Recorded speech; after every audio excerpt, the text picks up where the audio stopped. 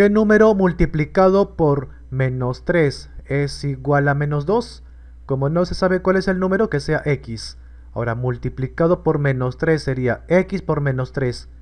O lo mismo el menos 3 acá, acá está la multiplicación. Es igual a menos 2.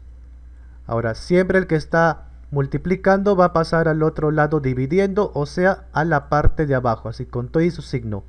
Menos con menos se eliminan y lo único que quedó fue 2 tercios. Este es el número que estábamos buscando.